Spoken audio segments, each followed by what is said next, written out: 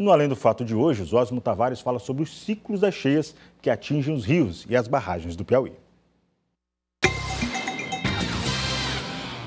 Como as secas, as enchentes também são fenômenos cíclicos no Nordeste. As cheias se repetem a cada 10 anos aproximadamente. Anote aí os anos das últimas grandes enchentes vividas pelo Piauí. 1947-48, 1960, 1974, 1985, 1995 e 2009.